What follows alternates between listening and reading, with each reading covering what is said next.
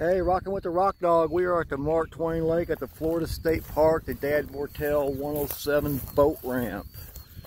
I had mentioned yesterday in a video about geodes being here and it's really nice on this first Sunday in March. So I'm going to come out here and show you where to get them at. Look at all them cockaburs. Don't bring a fuzzy dog out here. You'll regret it. Right out in here, there's just plenty of geodes. Now you can't pick up Indian relics here, but I don't think they care if you pick up geodes either. There's a geode. There's a geode. Lots and lots of them. There's a big quartz one. That's the beach right over there at the state park.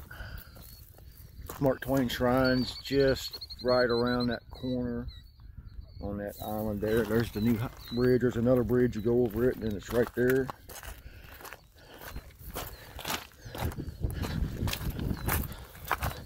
It used to be about three foot of dirt here, but the lake washed it all down. See, there's as high as the lake usually gets a lot of times, and it's still got dirt on it still.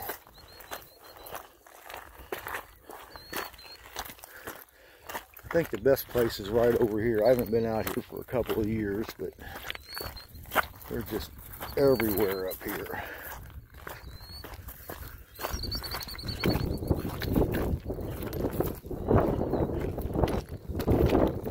There's a geode right there.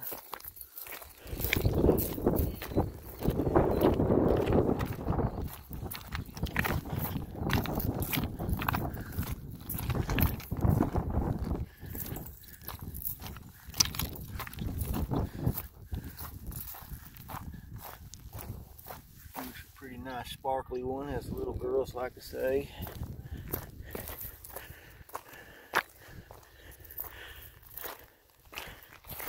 Just lots and lots of stuff like that. That's not that blue ocean stone that that Dan Hurd finds. It's worth 60 grand, but it's pretty cool in your garden. There's geode. That's a geode. There's some pretty cool fossils out here too if you look around.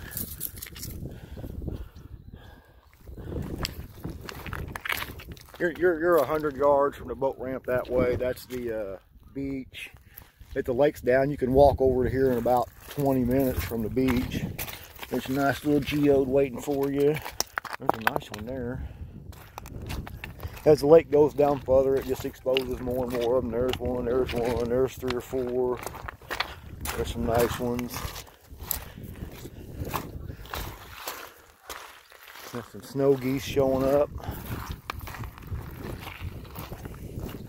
You find a lot of fishing lures and stuff walking around the edge of here like this.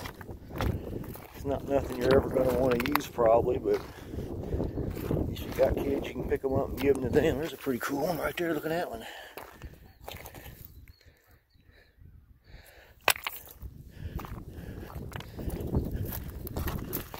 There's a nice one. Look at that one. That one's kind of got some pink in it. All you want laying right here. There's just dozens of them right here. I can see. Look, there's a nice one right there. That's the one I'd have to break right there if I was doing that. All right, we're not going to stay here too long. You kind of get the idea.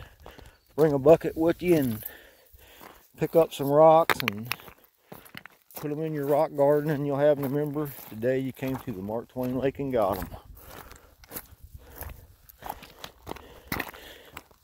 We'll keep the camera on as we walk on around. Right here where the small stuff is, there could be some really cool stuff floating up in here. I find everything out here. Cell phones, they never work, but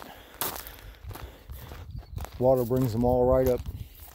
Washes them right out of the lake, right up to here to this spot for some reason. If you see a red rock, always look at it.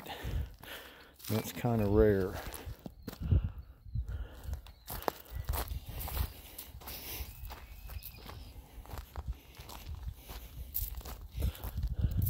This is all big mess of dead trees right there, but they cleared it all out last year pretty much, and it's weeds now, but I'm thinking they're gonna put something nice there. It's high enough so the lake don't ever get to it. See, the lake's about 625 right in here. It hasn't got up to that 30 or 40 times since it's been built. But down there where it's 606, uh, there is no dirt whatsoever. This is staying here pretty good. This is like clay, so once it gets wet, it's pretty well stuck here. There's a big old piece of cool granite.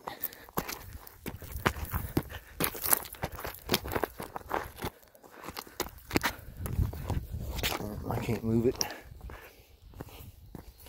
Nice piece of sand there. There's a big nice geode there. Let's see if I can break that on a rock. I don't think I can. These are solid down here. They're not usually hollow. Uh, uh, nothing. Hey, we'll try this one. I might be able to get a little bit of a fling on this. Alright, that's how you do it. If you take some home and break them, don't break them on your sidewalk. You'll break your sidewalk. And wrap them in a towel when you do it and don't smile. You will lose your teeth.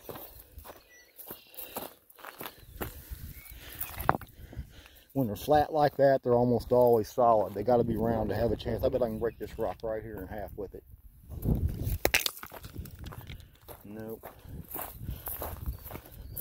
They're about the hardest thing out here. One guy fishing on the point over there. There's four or five boats in the boat ramp parking lot today. That's the first one week we had. There's still no sign of green whatsoever. Zero green in Missouri. First week of March. We're pretty far north though, but by the end of the week, there'll be some green.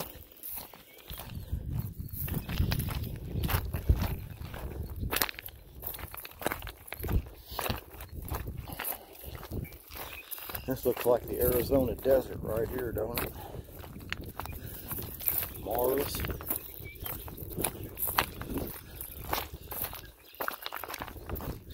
There'll be a bunch of fish coming up out of this deep water to them points and getting back in these coves where it's warm. If you want to catch crappie, the Mark Twain Lakes is a place to catch 9 and 10 inch ones that are fat in April. When it's 15, it's not 30 like the rest of the state, so be aware of that because there will be police and game wardens at all the boat ramps on a lot of Saturdays and Sundays checking how many fish you got. And don't think you're going to get away with coming back or going to another boat ramp that afternoon and getting 15 more now because that's why they're at every boat ramp so they can talk to each other. Look at that, that's a pretty cool rock. That's an Indian hammerstone, I would say. But we cannot have it. Isn't that cool? Just broke off like that for we'll throw her in the water.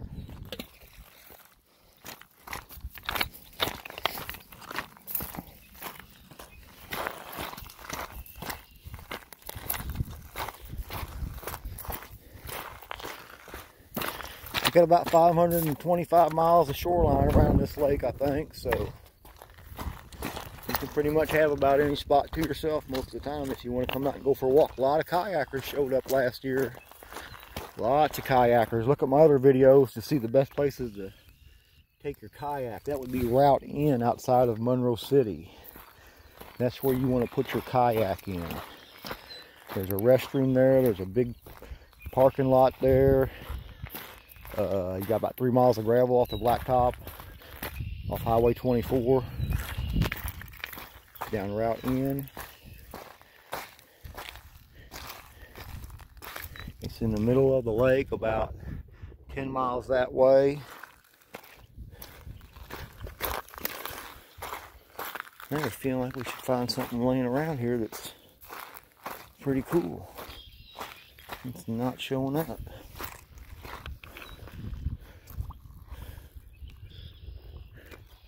No minnows in the shallow water.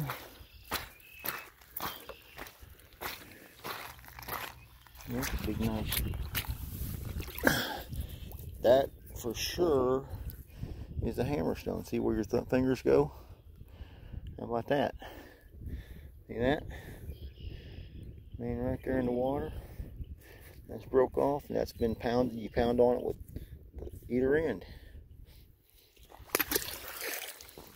There's that's probably nothing right there even though it looks cool. They pop off like that when they're, when they're in the water like that and the water's froze and the sun shines in the morning like this, that piece will pop right off the top of that rock. And I think you have a space. But you do not. Now if it's got really fine edge flaking and a thumb hold on it, you have a scraper. Alright, see we are right next to the boat ramp. Nice big boat ramp. You can't back a boat trailer up at the Mark Twain Lake, don't worry about it. You make a big U-turn right next to the water. You don't back up 100 yards. You don't have to. You just do a big giant U-turn. End up right by the side of the dock. Back the truck up 20 feet. You're in the water.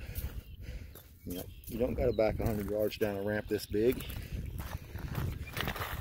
Don't untie your boat till you get there. Don't untie your boat at the top of the ramp. It'll fall off the trailer, but you don't have to back down a trailer that far if you can't do it. Not at this lake. We got big giant boat ramps. You can drive your trailer and your truck hooked together around in circles on them. There's some nice rocks in there. There's a nice one. There's a nice one right there.